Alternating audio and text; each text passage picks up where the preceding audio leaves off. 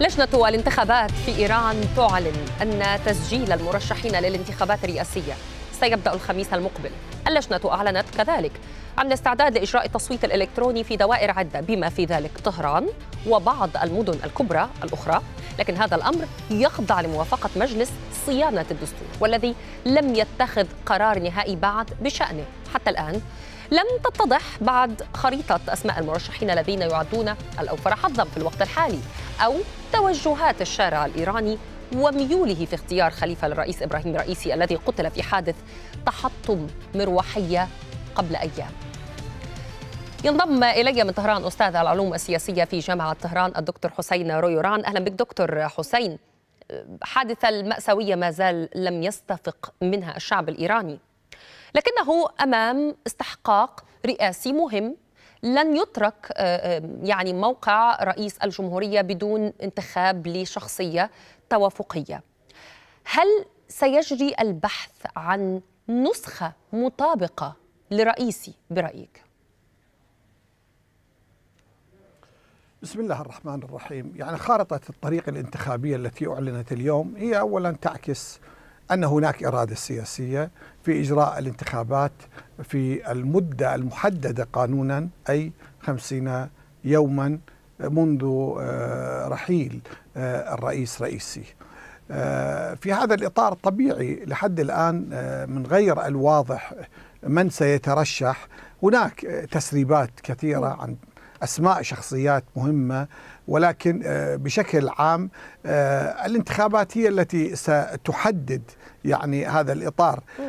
يعني التشييع الذي يعني جرى بحضور ملايين المشيعين أعطى انطباع إلى أن هناك قبول حول يعني ما قام به السيد رئيسي. من هنا قد يكون هذا هو أحد أهم المواضيع التي ستكون محل نقاش بين المرشحين في الاستمرار في هذا الطريق أو يعني طرح طريق جديد لإدارة البلاد بعد رحيل السيد طريق رئيسي. جديد هل تقصد أن يكون الرئيس القادم أميل لتيار الإصلاحيين أو التيار المعتدل؟ لأنه هذان التياران الآن يستعيدان نشاطهما وهناك من بين الإصلاحيين مساعد الرئيس السابق محمد رضا عارف وحتى رئيس البنك المركزي السابق عبد الناصر همتي.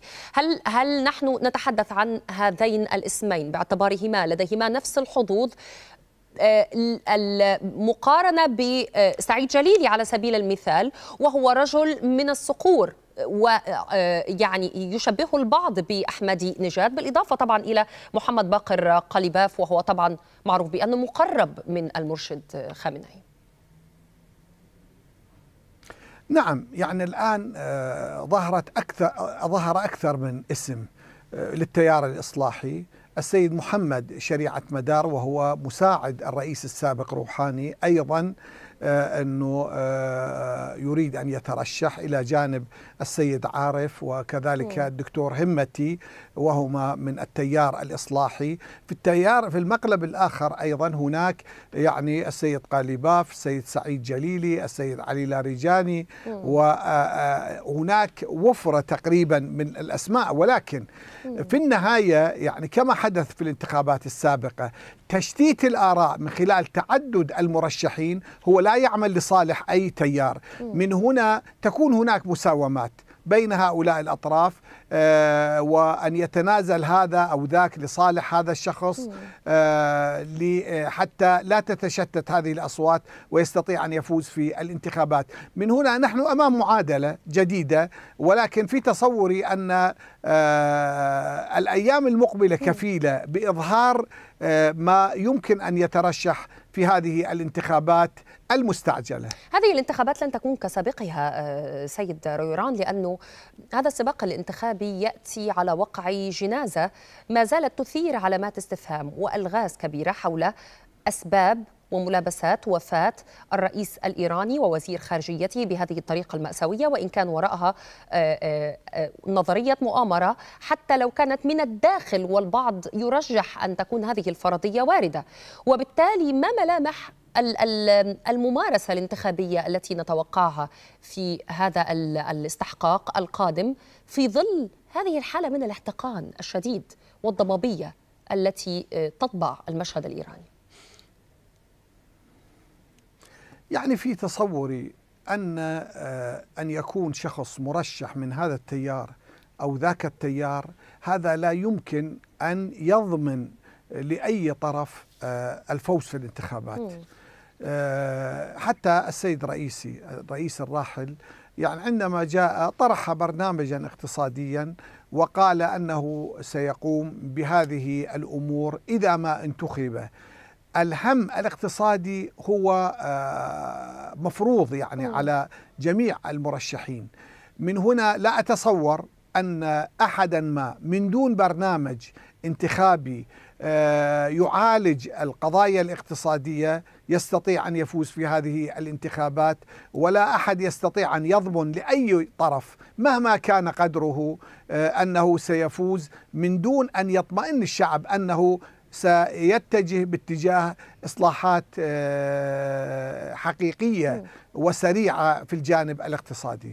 من يستطيع من بين المرشحين أو من بين الأسماء المطروحة أن يعطي شعور الأمان والاطمئنان بالنسبة للشارع الإيراني بأنه سيتم كشف حقيقة من قتل رئيسهم السابق.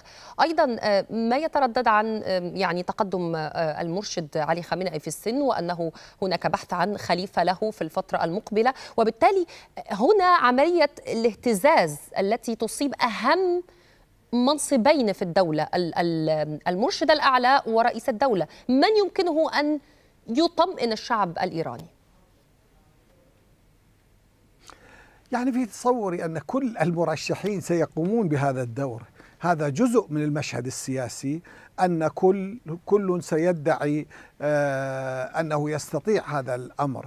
ولكن الموضوع ليس بهذه السهولة. نعم. يعني المجتمع في إيران الآن مسيس ويستمع بدقة إلى آه برامج المرشحين وأتصور أن يعني الموضوع الاقتصادي أولوية. شئنا أم أبينا؟ نعم يعني هناك قد يكون تقييم خارج الإطار الاقتصادي أيضا ولكن الشأن الاقتصادي يبقى هو الهم الأول للمواطن في إيران. شكرا جزيلا لضيفنا من طهران الأستاذ في العلوم السياسية السيد في جامعة طهران الدكتور حسين رويران.